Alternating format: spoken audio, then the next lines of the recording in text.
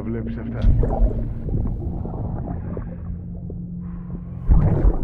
Ξέρεις τι μέρα είναι σήμερα, σωστά; Τα γενέθλια της Μανούλας; Είναι τα γενέθλια του Μπίμπι; Όχι.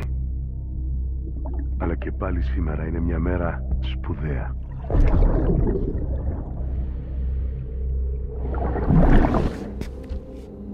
Ιδιαίτερη για κάποιον ξεχωριστό.